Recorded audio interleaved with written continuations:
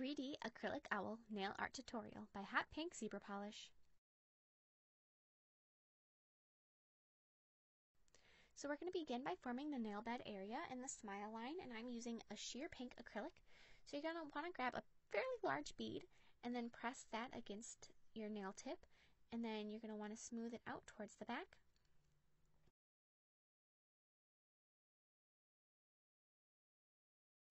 And then grab another smaller wetter bead and fill in the cuticle area and smooth that over the first bead of acrylic that you placed.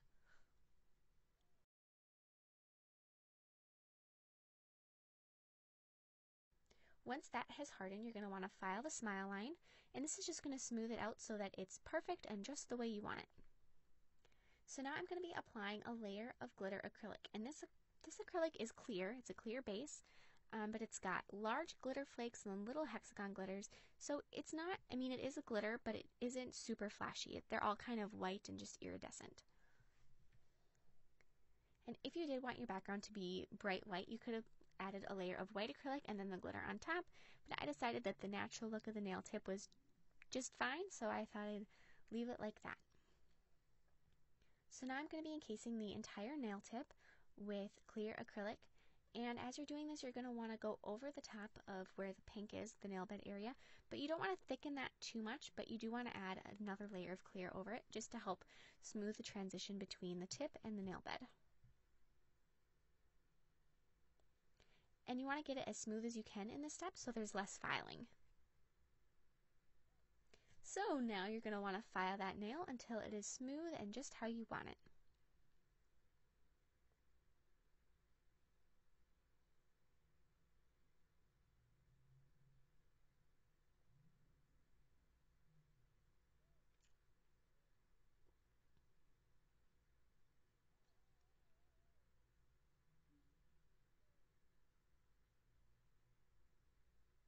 And now I'm going to be buffing the nail with a padded file, and this is 240 grit. This is just going to remove the scratches the other one may have left behind. So now I'm going to start on my owl, and I'm going to be forming her wings first, and these are almost like parenthesis shapes, so I'm going to use a dark, well it's not really super dark, but like a medium blue acrylic, and I'm going to be adding a wing on each side. And as you're making these, you're going to want to think of them as making the frame, because you're making the frame of which her the feathers on her stomach are going to be.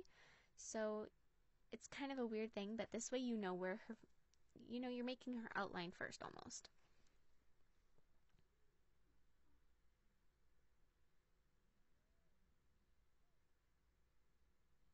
And as you're forming the wings, you're going to want to flatten and pull them until you have that nice rounded shape.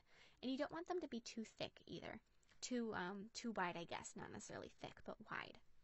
So now between her wings, we're going to be adding her belly feathers, as I said, and I'm going to be doing them in layers of purple and green. So I'm going to start with purple, and this is a shimmery acrylic. It's super pretty.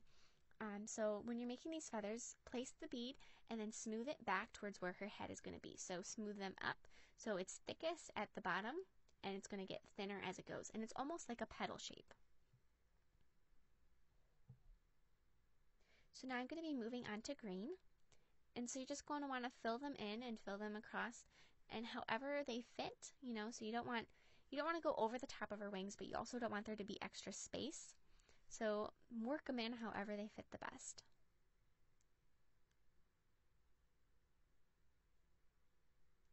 So now I'm going back to purple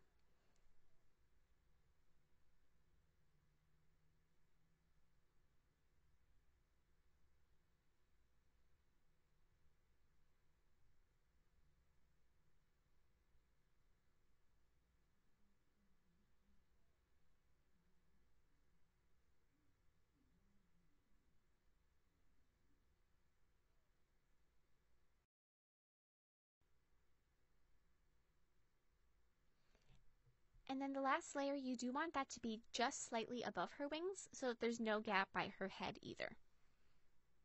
So now with a medium to a large size bead, we're going to be making her head. So just flatten that out into an oval and make sure that it's got a nice crisp line between her head and her wings and her tummy feathers. And then if you do need to, you can always add a second bead to give it a nice rounded shape. And whenever you're working with glitter acrylic, you're going to want to make sure that you get the excess monomer out of the back of your brush. So now using that same blue, I'm going to be adding the little feather tufts on her head. So these are almost like super tiny cat ears if you want to think of them as cat ears, but that's kind of how they look. So I'm going to add one on each side.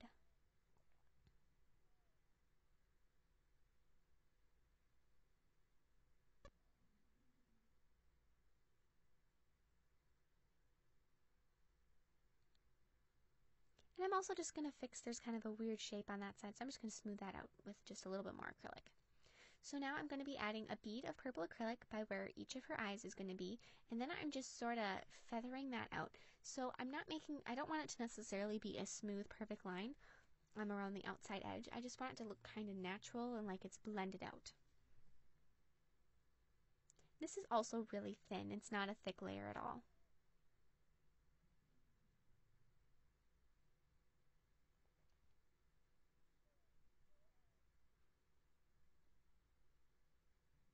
So now with white, you're going to want to make her eyes. So just place a bead and then flatten it into a nice circle. And I'm going to make one of her eyes a little bigger than the other one.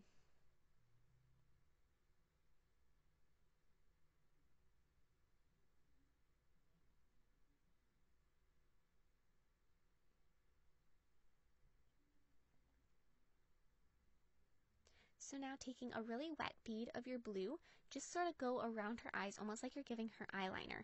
And as if you go over it a couple times, it's going to thicken and it's going to give her her eyelids. So you're almost like tracing it with that bead and it's just going to keep getting thicker and thicker until you've got a nice eyelid shape going on.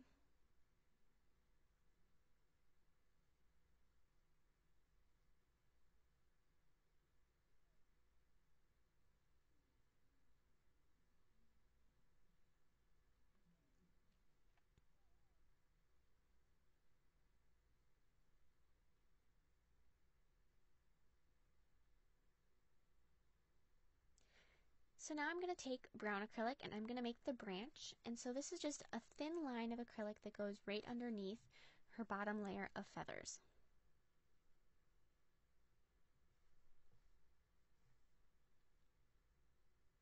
So now take a small bead of acrylic and then pull that down into a point shape between her eyes. And this is going to be like a triangle for her beak. And then with another bead of orange acrylic, place that down below and then split that in, you know, if you just dig your brush in, you can split it for her toes. So now I'm going to also thicken her wings up just because I want them to stick out a little taller than where her belly feathers are. So just add another bead on top and smooth that over.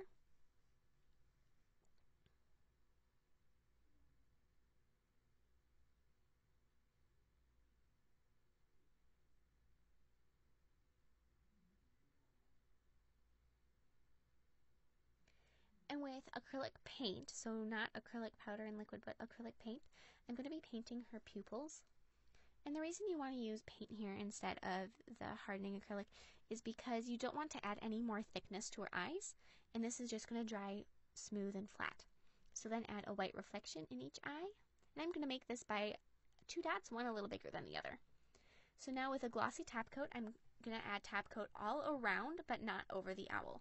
So I'm also going to go over her branch, but you don't want to go over her feet too much or like her ears or anything.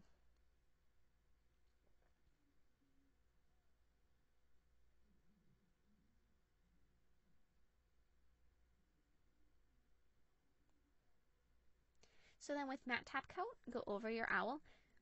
And with this, you pretty much want to focus on going over her eyes because you don't want that acrylic paint to wash off. Thank you so much for watching. I hope you like my design. Please share any recreations with me on Facebook and Twitter. I would love to see them, and I will see you in my next video. Bye!